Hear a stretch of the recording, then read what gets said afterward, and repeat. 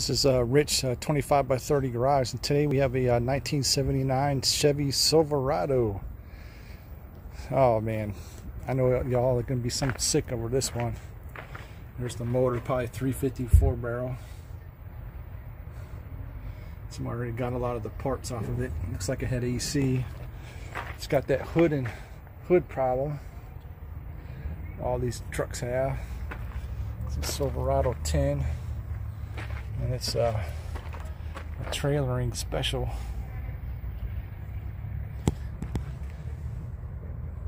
Look at that. Look at that. You guys are just, look at that no rust. Look at the inside. Of course, these car, these cars and trucks of this era always the dash pads. Oh, look at that! Had power windows. Wow.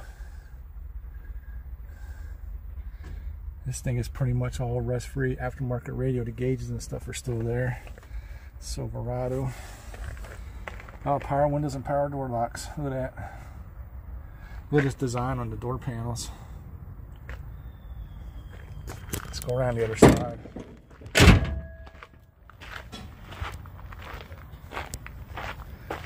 Uh, oh, got my finger in there, sorry.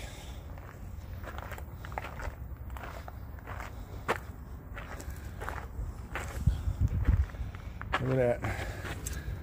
Look at that. Down low.